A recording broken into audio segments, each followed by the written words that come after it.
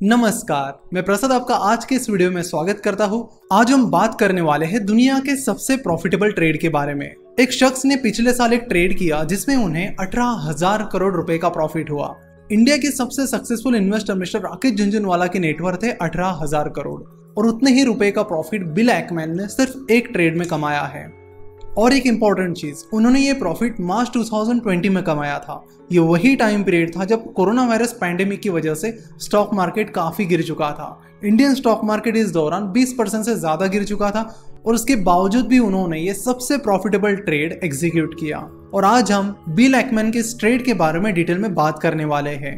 So let's begin ज़रूर channel को subscribe करके और हमारे वीडियोस जो लोग फाइनेंशियली अवेयर नहीं हैं, उनके साथ ज़्यादा से ज़्यादा शेयर करके इंडिया को फाइनेंशियली अवेयर बनाने में हमारी मदद करे। तो सबसे पहले बात करते हैं कि बिल एक्मैन जिन्होंने ये ट्रेड एग्जीक्यूट किया, वो आखिर है कौन? बिल एक्मैन एक अमेरिकन इन्वेस्टर और हेज फंड मैनेजर है। साल 2004 में उन्होंने अपना hedge fund Pershing Square Capital Management शुरू किया। जब उन्होंने ये फंड शुरू किया, तब वो हार्डली तीन हज़ार करोड़ रुपए का फंड मैनेज कर रहे थे। लेकिन पर्शिंग स्क्वायर ने दिए हुए अच्छे रिटर्न्स के चलते, ज़्यादा से ज़्यादा हाई नेटवर्थ वाले लोग उनके फंड में इन्वेस्ट करने लगे। जिसके चलते वो ज़्यादा से ज़्यादा फंड मैनेज करने लगे। आज वो 11 बिलियन डॉलर यानी करीब अस्सी हज़ार करोड़ का फंड मैनेज करते हैं। इस हेज फंड को शुरू करने से लेकर आज तक, इस फंड ने कंपाउंडेड सालाना 17 परसेंट का रिटर्न दिया है, जो कि मैं कहूँगा एक बहुत ही अच्छा रिटर्न है। बिल एक्मैन ने साल 2012 में भी एक बहुत बड़ा ट्रेड एग्जीक्यूट किया था, लेकिन वहाँ पर उन्हें लॉस हुआ था। वो भी वन बिलियन डॉलर का, यानी करीब करीब सात हज़ार करोड़ रुपए का। इसके बारे में हम वीडियो के आखिर में डिटेल में बात करेंगे। फ़िलहाल फोकस करते हैं सबसे प्रॉफिटेबल ट्रेड पर। मार्च 2020 के शुरुआत से ही कई सारी कंट्रीज़ में कोरोना वायरस के चलते लॉकडाउन लग रहे थे। कई सारे बिजनेसेस पूरी तरह से रुक गए थे। ऐसे में बिल एक्मैन को लगा कि यूएस में भी लॉकडाउन लग सकता है और यूएस के बिजनेसेस पर भी इस कोरोना वायरस पैंडेमिक का निगेटिव इम्पैक्ट हो सकता है। जैसे कि हमने बात की कि बिल एक्मैन अपने हेज फंड के ज़रिए 11 बिलियन डॉलर मैनेज करते हैं। और यहाँ पर उन्हें ये लगभग पता ही चल गया था कि कोरोना वायरस पैंडेमिक की वजह से और लॉकडाउन की वजह से बिजनेसेस पर निगेटिव इम्पैक्ट हो सकता है। इसलिए पहले उन्होंने सोचा कि मेरे पोर्टफोलियो में जो भी चीज़ें हैं, मैं उन्हें पहले बेच देता हूँ और उन्हें कैश में कन्वर्ट कर लेता हूँ। ताकि अगर मार्केट गिर भी जाता है तो मुझे ज़्यादा नुकसान नहीं होगा। बाद में उन्होंने थोड़ा और सोचा और अपना प्लान बदल दिया। तीन मार्च 2020 को उन्होंने एक प्रेस रिलीज़ की और उसमें उन्होंने बताया कि पर्शिंग स्क्वायर ने 27 मिलियन डॉलर यानी करीब 190 करोड़ रुपए के यूएस कॉर्पोरेट बॉन्ड के अगेंस्ट सीडीएस यानी क्रेडिट डिफ़ॉल्ट स्वैप खरीद लिए हैं। Credit default swap that is CDS का नाम शायद आपने पहले भी सुना होगा। 2008 के फाइनेंशियल क्राइसिस में एक पर्सन ने बहुत ज़्यादा प्रॉफिट कमाया था और उनका नाम था doctor Michael Burry doctor Michael Burry ने सीडीएस की मदद से ही उस क्राइसिस में बहुत ज़्यादा प्रॉफिट कमा लिया था। उन्होंने उस क्राइसिस में कितना प्रॉफिट कमाया था, नीचे कमेंट करके ज़रूर बताइए। वो भी बिना गूगल किए। सही जवाब को हम हार्ट दे देंगे। सीडीएस एक इंश्योरेंस की तरह काम करता है। तो जब बिल एक्मैन को लग रहा था कि उनके पोर्टफोलियो में जो भी स्टॉक्स हैं, उनकी प्राइसेस गिर सकती है तो उन्होंने सीडीएस खरीद लिए। यानी एक इंश्योरेंस खरीद लिया। और इस इंश्योरेंस के चलते, जैसे ही कॉर्पोरेट बॉन्ड्स डिफ़ॉल्ट करेंगे, या फिर उनकी प्राइस नीचे चली जाएगी, वैसे ही बिल एक्मैन को प्रॉफिट हो जाएगा। अब कोरोना वायरस की इस पैंडेमिक की वजह से कई सारे बॉन्ड्स डिफ़ॉल्ट होने लगे। स्टॉक मार्केट में भी प्राइसेस तेज़ी से गिरने लगे। और इस डाउनवर्ड मूवमेंट का बिल एक्मैन को बहुत ज़्यादा प्रॉफिट हुआ। तो यहाँ पर बिल एक्मैन ने जैसा सोचा था, वैसा ही हुआ। कई सारे बॉन्ड्स और कई सारे स्टॉक्स गिरने की वजह से बिल एक्मैन को बहुत ज़्यादा प्रॉफिट हुआ। उन्होंने जो 190 करोड़ के सीडीएस खरीदे थे, उन पर उन्हें 2.6 बिलियन डॉलर यानी करीब करीब अठारह हज़ार करोड़ रुपए का प्रॉफिट हुआ। बिल एक्मैन का ये ट्रेड दुनिया का आज तक का सबसे प्रॉफिटेबल ट्रेड माना जाता है। साल 2008 के फाइनेंशियल क्राइसिस में डॉक्टर माइकल बरी को सीडीएस का इस्तेमाल करके 700 मिलियन डॉलर का, यानी करीब साढ़े चार हज़ार करोड़ का प्रॉफिट हुआ था। लेकिन यहाँ पर बिल एक्मैन का जो प्रॉफिट है, वो उससे कई गुना ज़्यादा है। सीडीएस की जो स्टोरी है, वो भी काफ़ी इंटरेस्टिंग है।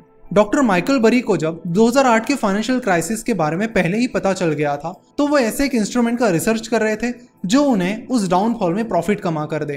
ऐसे ही एक किताब पढ़ते पढ़ते उन्हें सीडीएस के बारे में पता चला और उसके बाद वो कुछ इन्वेस्टमेंट बैंक से मिले और उनसे जाकर उन्होंने सीडीएस की डील्स की और बहुत अच्छा प्रॉफिट भी कमाया। इंडिया की बात करें तो इंडिया में सीडीएस अभी तक लीगल नहीं है। बिल एक्मैन को जो अठारह हज़ार करोड़ का प्रॉफिट हुआ था, उसे भी उन्होंने बहुत ही इंटेलिजेंटली यूज़ किया। मार्च 2020 में, जब कई सारी कंपनीज़ के शेयर्स काफ़ी ज़्यादा गिर चुके थे तो उन्होंने उन अठारह हज़ार में से दस हज़ार करोड़ रुपए के अलग अलग कंपनीज़ के शेयर्स खरीद लिए। उन्होंने तब बर्कशायर, हैथावे, स्टारबक्स, हिल्टन, इन जैसे कंपनीज़ के शेयर्स खरीद लिए और बाकी सात से आठ हज़ार करोड़ रुपए कैश में अपने पास रखे। इस सबसे प्रॉफिटेबल ट्रेड के बाद एक बहुत बड़ी कंट्रोवर्सी भी क्रिएट हुई थी। कंट्रोवर्सी ये थी कि बिल एक्मैन ने सीडीएस खरीदने के कुछ ही दिन बाद एक ट्वीट किया। उस ट्वीट में उन्होंने कहा था कि यूएस को बचाने का एक ही तरीका है। वो ये कि पूरी कंट्री को 30 दिन के लिए शटडाउन यानी लॉकडाउन लगाया जाए और सारी बॉर्डर्स क्लोज कर दी जाए। शुरुआत में लोगों को लगा कि बिल एक्मैन इसलिए ये कह रहे हैं क्योंकि वो कंट्री को बचाना चाहते हैं।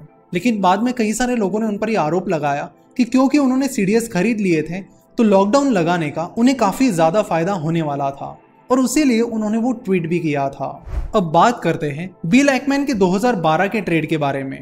बिल एक्मैन को लग रहा था कि हवा लाइफ इस कंपनी की शेयर प्राइस काफ़ी तेज़ी से गिर सकती है। उन्होंने तो इनफैक्ट ये भी कह दिया था कि इस कंपनी की शेयर प्राइस जल्दी ज़ीरो होने वाली है। और इसलिए उन्होंने इस कंपनी को पब्लिकली शॉर्ट कर दिया था। जब आप शॉर्ट सेलिंग करते हो तो जितनी कंपनी की शेयर प्राइस नीचे चली जाती है, उतना आपको प्रॉफिट मिलता है। लेकिन यहाँ पर वैसा नहीं हुआ। हर्बल लाइफ की शेयर प्राइस ज़ीरो तो नहीं हुई, साथ ही वो गिरी भी नहीं, उसके बजाय बढ़ती चली गई। और ऐसे में उस ट्रेड में बिल एक्मैन को वन बिलियन डॉलर का नुकसान हुआ था। यानी उस टाइम करीब छह हज़ार करोड़ का नुकसान हुआ था। ये पूरा मामला बहुत ही इंटरेस्टिंग था और इस पर एक बहुत ही इंटरेस्टिंग डॉक्यूमेंट्री भी बनी है, जिसका नाम है बेटिंग ऑन ज़ीरो ये डॉक्यूमेंट्री किसी भी बड़ी ओ या स्ट्रीमिंग प्लेटफॉर्म पर अवेलेबल नहीं है आप इसे अमेजन से खरीद सकते हो। इसकी करंट प्राइस जो है वो डेढ़ सौ दो सौ रुपए चल रही है। लेकिन ये एक ऐसी डॉक्यूमेंट्री है जो मैं आपको सजेस्ट करूँगा कि आपको बिल्कुल देखनी चाहिए। आज के इस वीडियो के प्रायोजक है कॉइन डीसीएक्स गो ऐप जो कि इंडिया का सबसे सिंपलेस्ट बिटकॉइन ऐप है और जिसे इंडिया के सबसे बड़े क्रिप्टो एक्सचेंज कॉइन डीसीएक्स ने डेवलप किया है। यहाँ पर बाइंग और सेलिंग की प्रोसेस बहुत ही आसान है। इस ऐप पर जाकर रजिस्टर कीजिए केवाईसी कीजिए और अपने बैंक अकाउंट को लिंक कीजिए. That's it CoinDCX go app पर आप सिर्फ़ सौ रुपए से भी स्टार्ट कर सकते हो और ट्वेंटी फोर सेवन कभी भी पैसा डिपॉजिट या विड्रॉ कर सकते हो. कॉइन डिसेक्स बहुत सेफ़ है और बीट गो से इंश्योर्ड भी है, जो कि उनके कस्टडियन है. यहाँ पर कई सारे सिक्योरिटी फीचर्स भी यूज़ किए जाते हैं, जैसे कि two factor authentication withdrawal password etcetera साथ ही कंपनी आईएसओ सर्टिफाइड है और केवाईसी और एमएल जैसे सारे कंप्लायंसेस को वो फॉलो करते हैं। उन्होंने डिसेक्स लर्न डॉट कॉम ये फ्री क्रिप्टो लर्निंग प्लेटफॉर्म भी डेवलप किया है, जहाँ पर आप फ्री में क्रिप्टो करेंसीज के बारे में सीख सकते हो। जहाँ तक क्रिप्टो करेंसीज की बात है तो उन्हें बाय या सेल करना इंडिया में लीगल है। बस आप उन्हें लीगल टेंडर के तौर पर इस्तेमाल नहीं कर सकते। यानी क्रिप्टो करेंसी को आप किसी चीज़ को खरीदने या बेचने के लिए इंडिया में इस्तेमाल नहीं कर सकते। तो इस वीडियो के कंक्लूजन में हम आपसे ये कहना चाहेंगे कि मिस्टर बिल एक्मैन ने ये जो सीडीएस खरीदे थे ये उन्होंने अपने पोर्टफोलियो को बचाने के लिए खरीदे थे और इसे हेजिंग कहते हैं। अब हेजिंग क्या होती है? उसे इंडिया में आप कैसे कर सकते हो? इसे हमने हमारी फ्यूचर सीरीज़ में डिटेल में बताया है। तो हमारी फ्यूचर सीरीज़ आप ज़रूर चेकआउट कीजिए, जिसकी लिंक नीचे डिस्क्रिप्शन में आपको दी गई है। वहाँ पर हमने बहुत ही आसान भाषा में फ्यूचर्स के बारे में आपको सिखाया है, साथ ही हेजिंग के बारे में भी एग्जाम्पल्स वो भी प्रैक्टिकल एग्जाम्पल्स देकर बताया है। तो जहाँ तक डेरिवेटिव्स मार्केट की बात है तो डेरिवेटिव्स मार्केट का इस्तेमाल आपको हेजिंग के लिए ही करना चाहिए। अगर आप बिना सोचे समझे वहाँ पर कुछ भी खरीदोगे, बेचोगे तो वहाँ पर नुकसान होने के चांसेस बहुत ज़्यादा है। तो बहुत सोच समझ के ही आपको डेरिवेटिव्स मार्केट में ट्रेड करना चाहिए।